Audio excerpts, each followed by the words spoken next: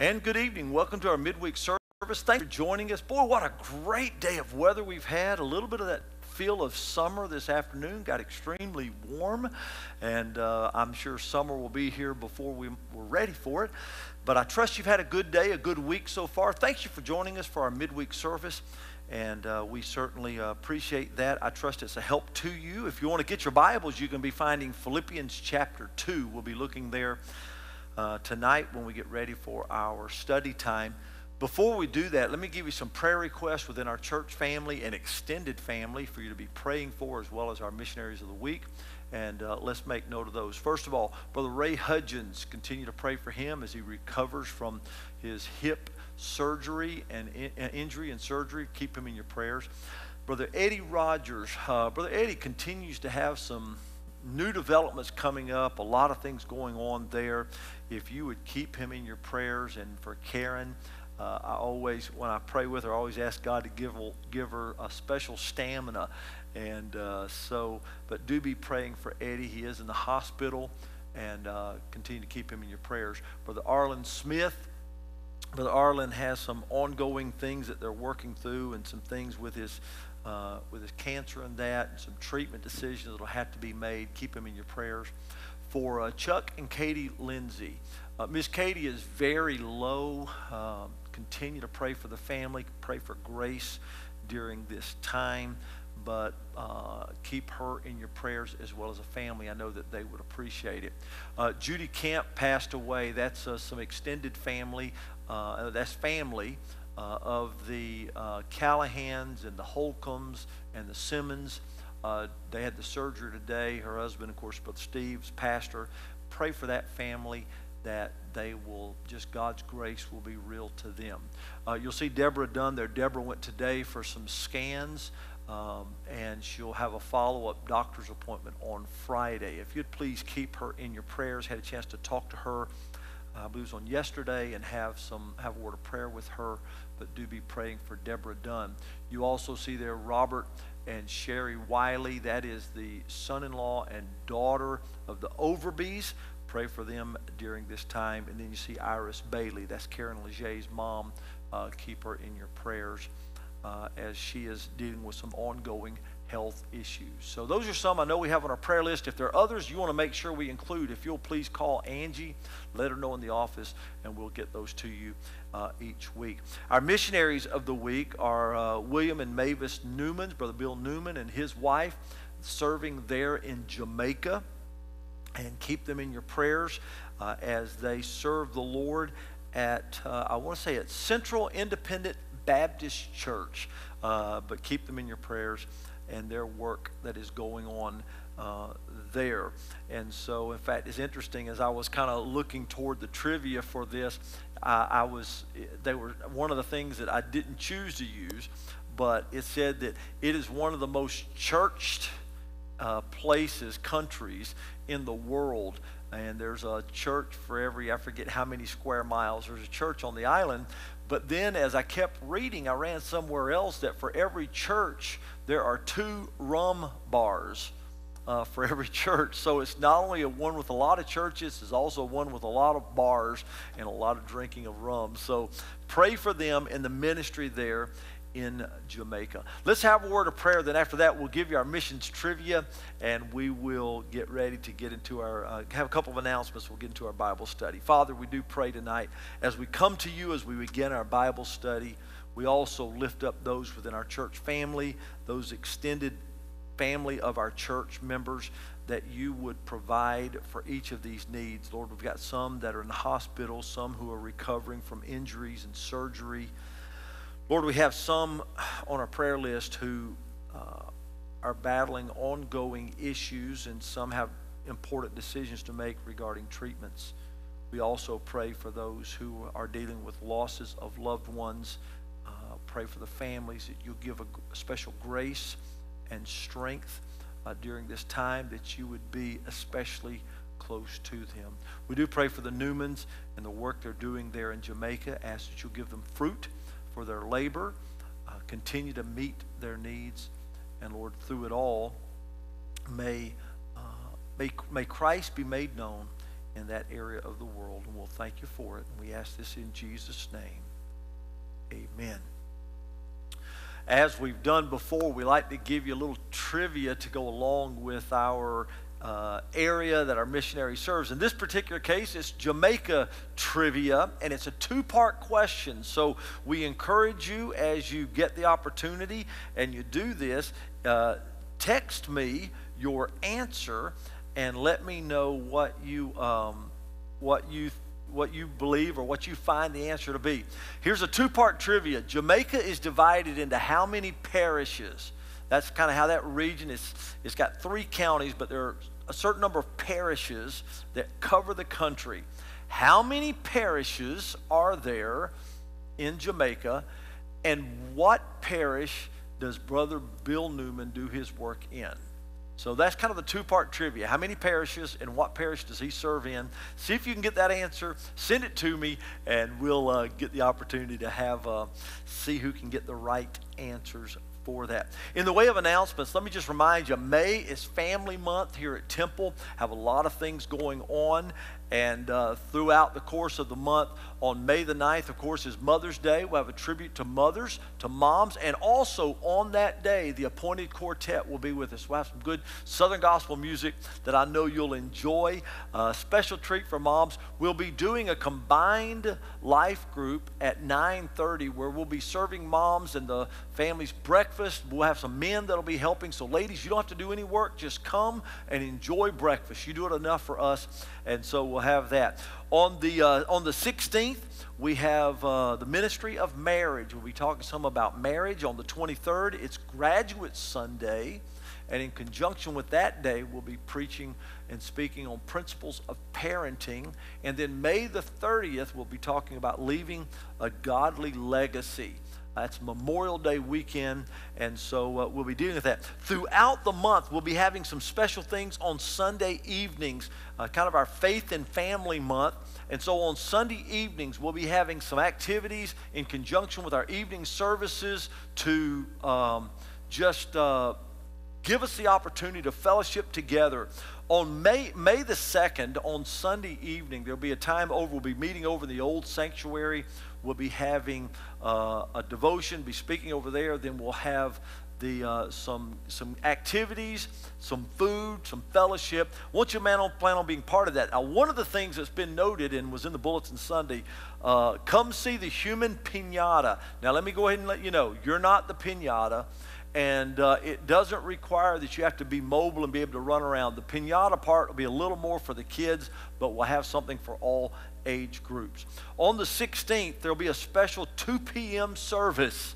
So on Sunday, we'll be saying more about that on Sunday as you're here, but there'll be a 2 p.m. service on Sunday afternoon, and then following that, we're going to do a front yard fellowship at the Rushing's house, at my house. We want to invite you to come, bring a lawn chair, and we'll be telling you some things about that. For any of you that may not know where I live or don't want to drive up that direction, we'll be making transportation. You can ride the van up if you'd like to on that Sunday evening. But on the 16th, on the 23rd, we're going to have family talent night. We want to see what talents you have, whether you can, whether you can sing or juggle or uh, throw an axe or whatever you can do that you might have talent in your family.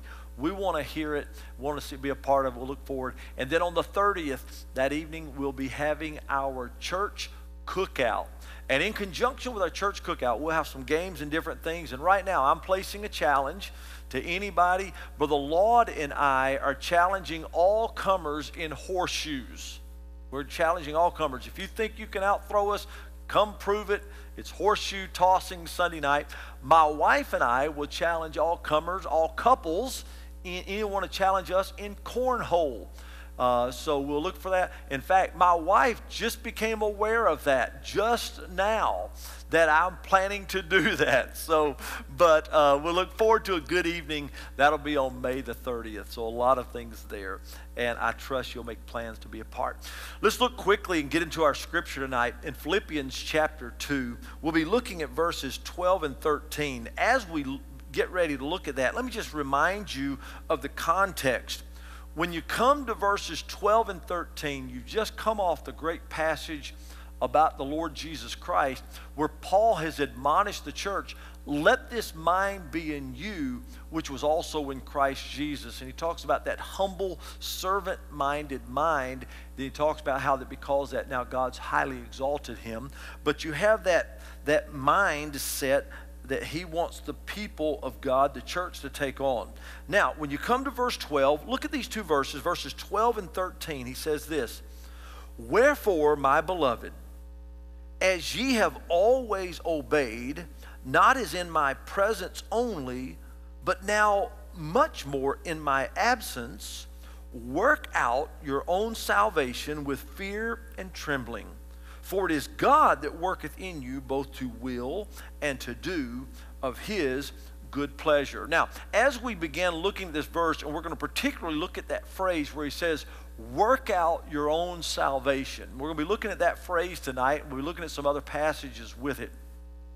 I think it's real important to take note, first of all, this verse is not talking about working for your salvation. It's not talking about works salvation.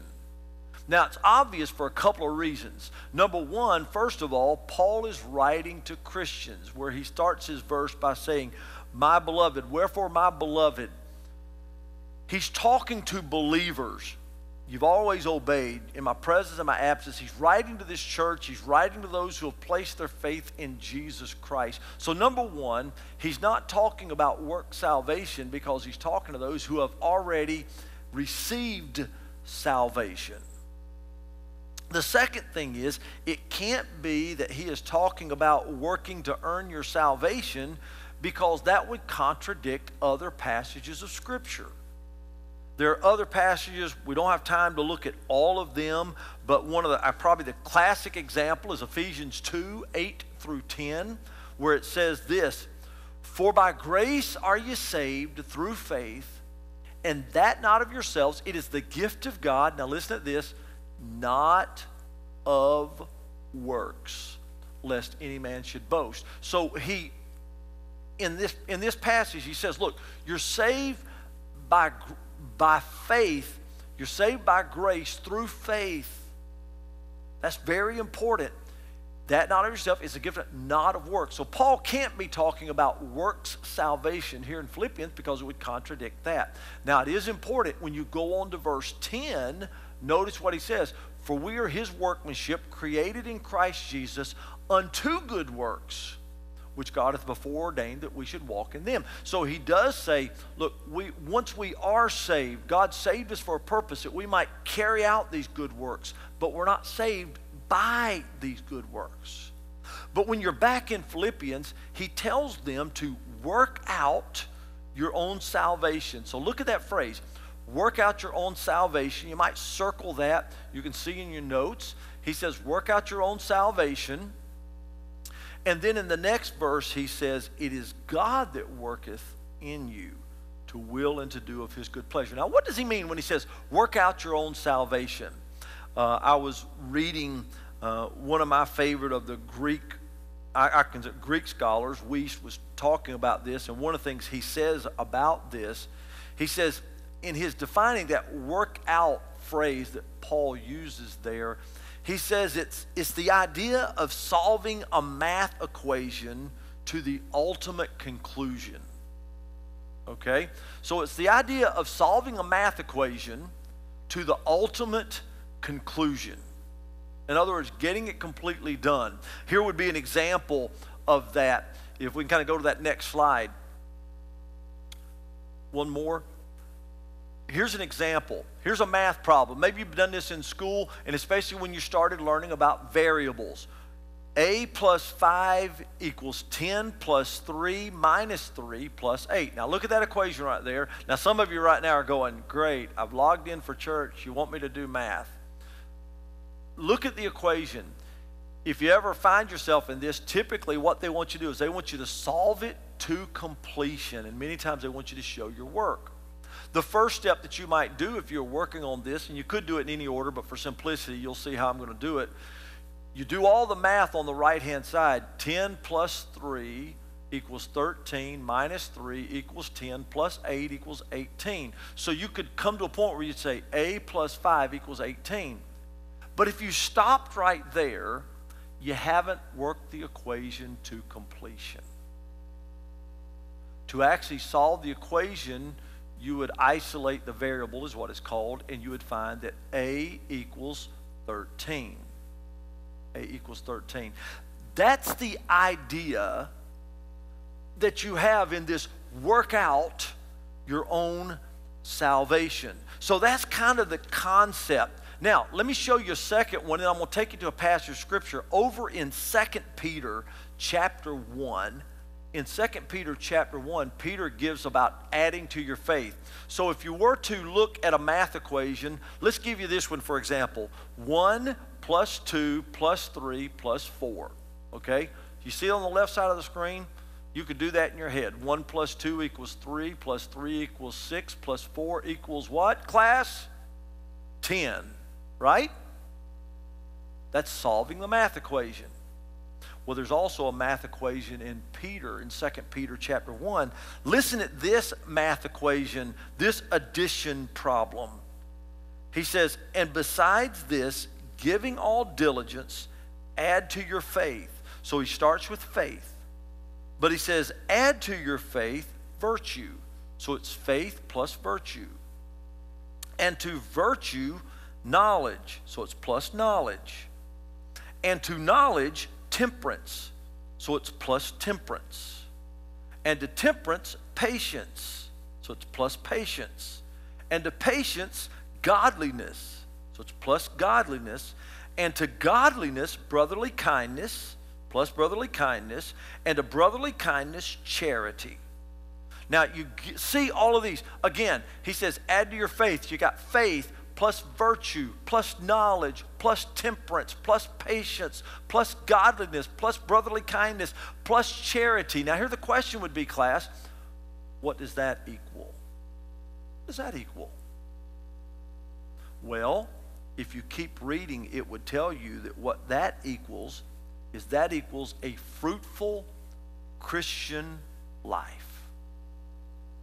For he goes on to say, if these things be in you and abound, they make you that you shall neither be barren nor unfruitful in the knowledge of our Lord Jesus Christ. So, again, you're building upon that faith that brought you into the family of God, but now you're adding to that. That's a little bit of the hey, work out your own salvation.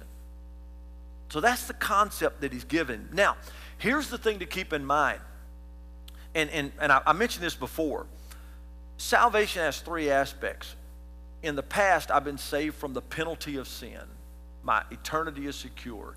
In the present, I'm being saved from the power of sin.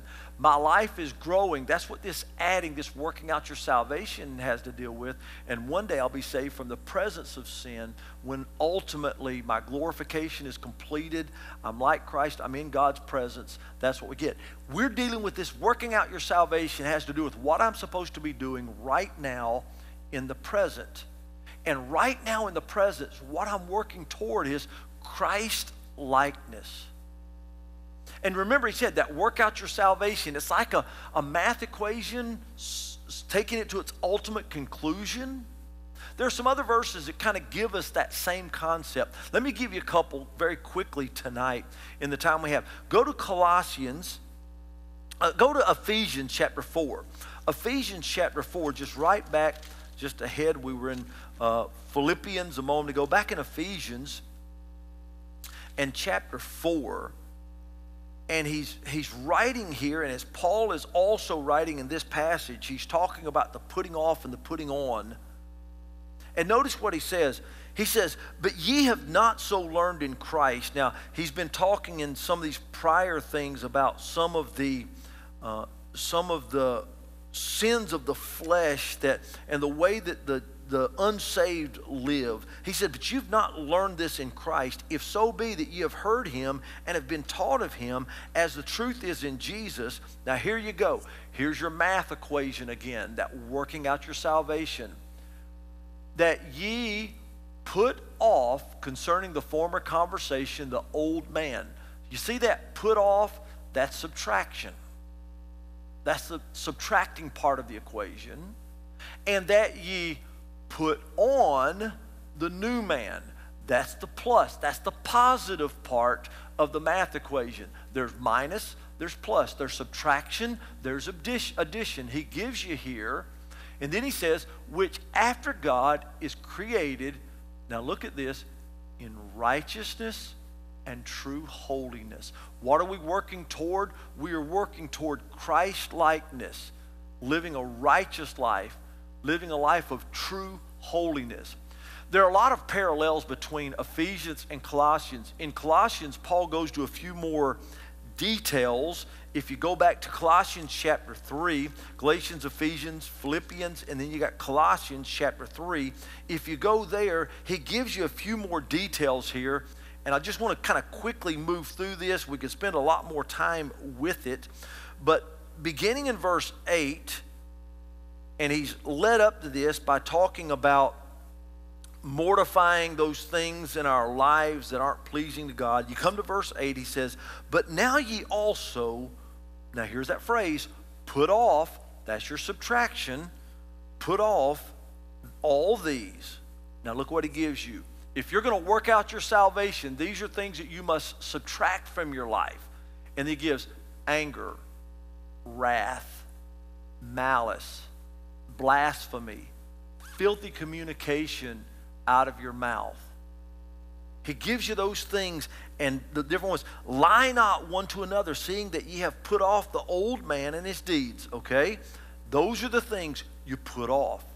Again, work out your salvation. It's the idea of working a math, uh, uh, math equation to its completion. You do some subtraction. You're also going to do some addition he goes on to say, and have put on the new man, which is renewed in knowledge after the image of him that created him. So he's going to give you those. Now go down to verse 12 and notice what he says. Put on, therefore, as the elect of God, holy and beloved. Now here's my addition. These are the things, this is what I'm trying to work out in my life.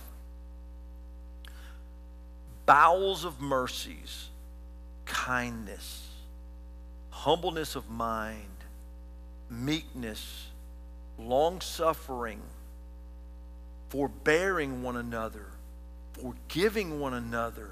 If any man have a quarrel against any, even, now look at this, even as Christ forgave you, so also do ye. And above all these, put on charity, which is the bond of perfectness. You see that perfectness? Completing that workout. Your goal of completing the equation, subtraction, getting rid of those things, addition, adding those things. Let me give you one other, then I want to give you a couple things in conclusion and application as we conclude. When you go to Galatians chapter 5, if you want to just turn quickly, Galatians chapter 5, we won't take time to read it, but at the end of the chapter, he gives two contrasting concepts. He talks about the works of the flesh and the fruit of the Spirit. When he gives the works of the flesh, those are the negative things that should not be, that should be removed from our life. And he lists those adultery and fornication and uncleanness and lasciviousness. Then he follows that up with, but the fruit of the Spirit, he gives the negative these are the things that, as we work our, out our salvation, these are the things that we should take away. But then He gives us the fruit of the Spirit, those things that should be uh, produced from our life. But the fruit of the Spirit is love, joy, peace, long suffering, gentleness, goodness, faith, meekness, temperance. Okay? Now, I'm hitting a lot of this in a hurry, but I want you to take note. When the Apostle Paul says in Philippians 2, work out your salvation. The idea there is like a math equation that you're working to its completion. In my own life, what that looks like of working out my salvation is my working through that process where I'm seeing the things that are not like Christ being eliminated and the things that make me more like Christ being added into my life where once there was hatred and anger, now there's grace, there's, there's humility. Where once there was uh, untruthfulness, now there is truthfulness. Now go back to the verse in Philippians and notice what he says. Wherefore, my beloved, as ye have always, as ye have always obeyed, not as in my presence only, but now much more in my absence, work out your salva- your own salvation. Work out your own salvation with fear and trembling. But then he goes on to say in that same passage, work out your salvation with fear and trembling, for it is God that worketh in you both to will and to do of his good pleasure. Now, when we look at that, I think there are three great applications for us to understand. Number one, the continuing work of salvation is a personal responsibility. It is a personal responsibility. Can, can I tell you this? Whether you manifest grace or harshness isn't somebody else's fault. It's your responsibility to develop that grace. The growth of your faith or the failure of your faith, it's not someone else's fault. It's our responsibility. Number one, the continuing work of salvation, this in the presence. I've been saved from the penalty of sin. I'm I should be growing and overcoming the power of sin in my life. That is a personal responsibility. Number two, the second thing, though, is the work is accomplished through Holy Spirit enabling. You see, I don't have to do it in my own might. I do have to take a personal responsibility in it. But God gave us His Spirit that He might enable us to grow in those areas of our life. It's through His enabling, not through simply my sense of willpower, that allows me to do that. Work out your salvation through fear and trembling, for it is God which worketh in you, both the will and to do of His good pleasure. You see, first, I must take personal responsibility. Can I tell you this? There's no excuse for me as a Christian not to be moving toward Christ likeness. I have a personal responsibility, but I have a Holy Spirit enabling. Here's the third truth I want you to take from this passage. The goal, as I'm working out my salvation, the goal is to remove the things that make me less like Christ and demonstrate the things that make me look more like Christ. That goes into every area of life. In your home, hey men, we're to be a model of Christ in the home, Ephesians chapter 5. Therefore, in any situation within the home, in my dealing with my wife, in my dealing with my children, my goal should be to manifest a Christ likeness in those situations. And as I work out my salvation, it, be, it should become more evident of the work of grace that is taking place. When we work, when, when we deal with people at church, when you deal with people at work, when situations get tense, when, when nerves are frayed, my goal should be that I remove those, those reactions that make me look less like Christ, and I begin to demonstrate those things that make me look more like Christ. That's what this verse is telling us. The Christian life, it's like a math equation where I am doing subtraction and I am doing addition. And as I work through that equation, I take on more and more a resemblance of my Lord. Can I challenge you through the remainder of this week? Work out your own salvation with fear and trembling, but do so mindful it is God that worketh in you, both to will and to do his good pleasure.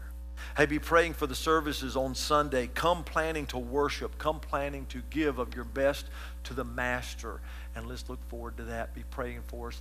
Have a good day. We love you. Let's be dismissed in a word of prayer. Father, bless now your word. Write it upon our hearts. And through it, may we work out our own salvation. May we take that personal responsibility, but may we do so leaning on you and the power and enabling of your Spirit. And may we take more and more a family resemblance of our precious Lord and Savior. We ask this in Jesus' name.